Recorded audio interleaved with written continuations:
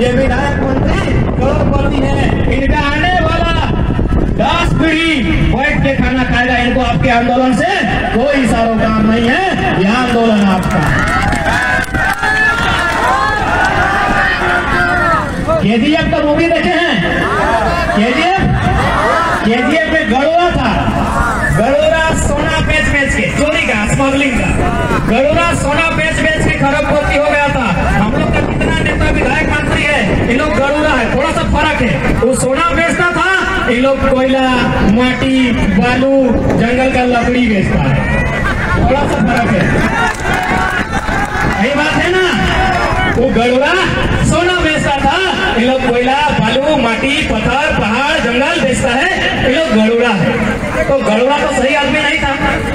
गड़ोरा तो सही आदमी नहीं था भाई। तो गड़ोरा का साम्राज्य खत्म होना चाहिए था तब ना यही तो फ़िल्म देखने के बाद तो मन में यही कि गड़ोरा खत्म होना चाहिए। तो ये लोग भी तो खत्म होना चाहिए ना? खत्म होना चाहिए ना?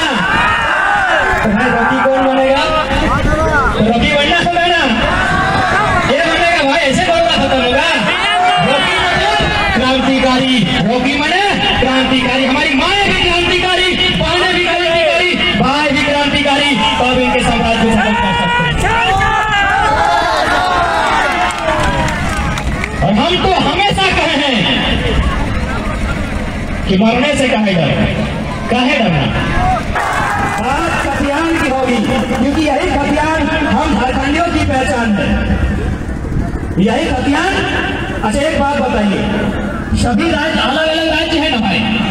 उस राज्य की पहचान होगी बंगाल, की कोई पहचान होगी बिहार की कोई पहचान होगी महाराष्ट्र की कोई पहचान है तो झारखंड की भी पहचान होनी चाहिए ना? होनी चाहिए। तो एक बात बताइए क्या पहचान, हमारी और आपकी पहचान वोटर आईडी है नहीं ना अरे परदेसिया का भी दूधों का वोटर आईडी है। यहाँ भी है, वहाँ भी है। आधार कार्ड आधार कार्ड भी उन लोग के पास दूधों का है। राशन कार्ड तो जितना सदस्य है परिवार में जते लोग, उतना राशन कार्ड। तो एक ही पहचान, बाप दादा के हथियार